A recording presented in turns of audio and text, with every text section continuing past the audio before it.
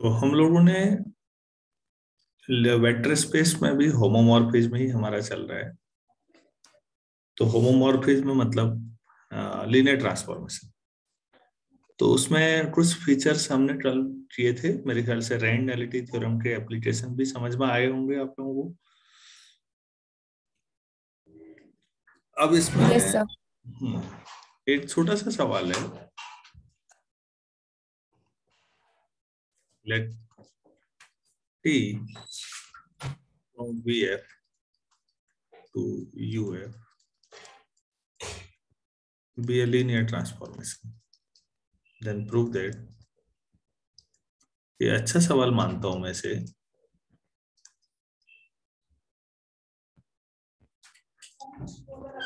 and prove that for any subspace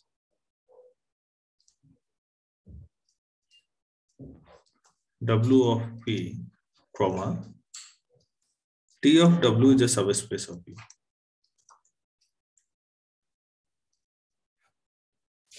Subspace मतलब उधर right side है तो उधर ही सही।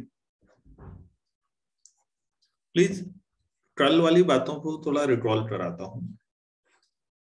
अगर इधर लीनियरली इंडिपेंडेंट सेट है तो लीनियर ट्रांसफॉर्मेशन के बाद जो है वो लीनियरली इंडिपेंडेंट भी हो सकता है और लीनियरली डिपेंडेंट भी हो सकता है। ये पढ़ा था कल? कोई सेट yes, अगर sir. आपके पास लीनियरली इंडिपेंडेंट है तो उसकी जो इमेज सेट है वो ज़रूरी नहीं है लीनियरली इंडिपेंडेंट ही डिपेंडेंट भी हो सकता है। तो बेसिस बेसिस में कन्वर्ट हो ज़रूरी नहीं है। इतना क्लियर था? यस yes, सर हाँ, लेकिन बच्चों जबकि बेसिस भी सब स्पेस है। तो लीनियर इंडिपेंडेंस पे तो ये है लेकिन सब स्पेस के मामले में देख लीजिए। कोई भी डोमेन का कोई भी सब स्पेस लीजिए उसकी जो इमेज सेट होगा किसी भी लीनियर ट्रांसफॉर्मेशन में मतलब वेक्टर स्पेस में अगर होमोमॉर्फिज्म लगाएँगे तो जो इमेज सेट आएगा वो गारंटी है कि वो भी सब स्पेस होगा राइट साइड का। मतलब काफ़ी महत्वपूर्ण रिज़ल्ट है, क्योंकि लीनियर इंडिपेंडेंस के मामले में तो ये धोखा दे गया लेकिन सब स्पेस ये हो रहा है। ये बहुत अच्छी बात है।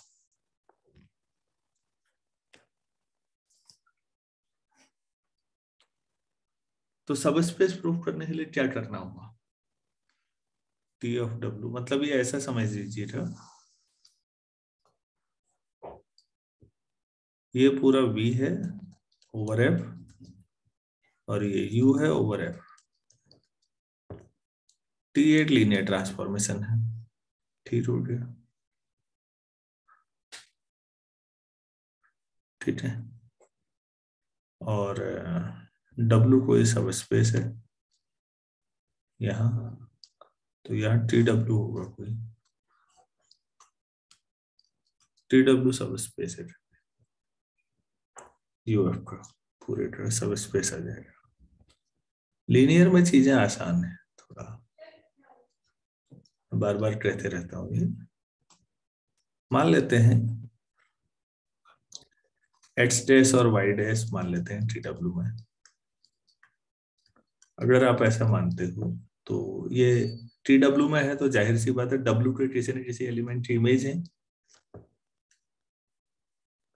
there is is some Y belongs to W such T H equal to H dash और T Y equal to Y dash ठीक है ना इतना? यस सर अच्छा। Since W is a subspace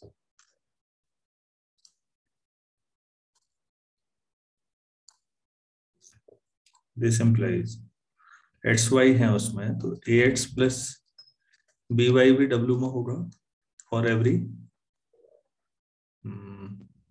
for every A B belongs to F and for every H Y belongs to W तो T of A X plus B Y किसमें होगा फिर? T W और ये T of A X plus B Y क्या होगा? ऐसा लिख सकते हैं? यस सर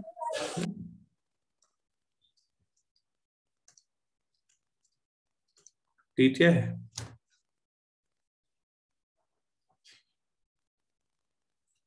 लीनियर ट्रांसफॉर्मेशन है तो टी एच टी जो ऊपर देखिए एच डैश और टी वाई टी जो Y dash belongs to T W that is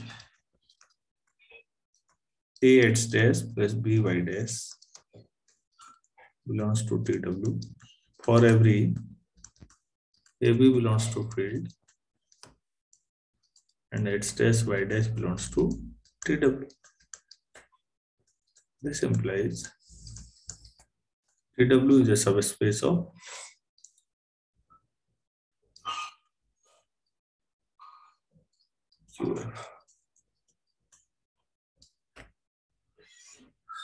चार लाइन में हो जाता है, लेकिन इसकी इंपॉर्टेंस आप समझिएगा सब स्पेस होमोमॉर्फिज्म के तहत किसी सब स्पेस में ही जाके मैप होता है। मतलब डोमेन का कोई भी सब स्पेस लीजिए, अगर वो लीनियर ट्रांसफॉर्मेशन है तो जो इमेज से होगी उसकी, वो सब स्पेस की इमेज, सब स्पेस ही होगी और कुछ हो ही नहीं सकती। गारंटी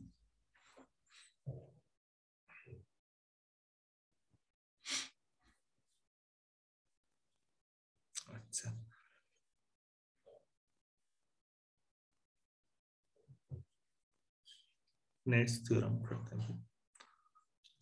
ये पूरा रिज़ल्ट समझ में आया है या कुछ समझाना है और? आगे अच्छा।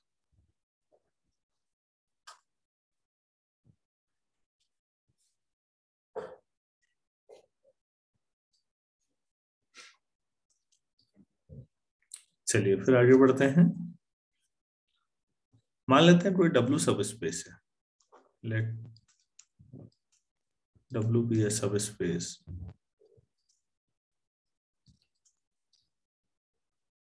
of a vector space PF.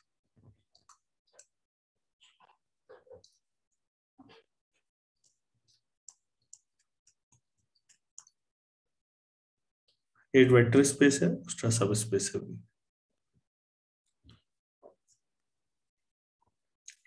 अच्छा मैंने क्रोसेंट स्पेस तो पढ़ा रखा है ना। Yes, yes sir. sir. Yes. yes, sir. It. Then there exists a linear transformation T of V onto V by W such that kernel T equal to W. ये proof करना है। इसको कैलो थ्योरम भी कहते हैं, काफ़ी अच्छा सवाल। लीनियर ट्रांसफॉर्मेशन जो है, वो कहा है? वी से ऑन टू बी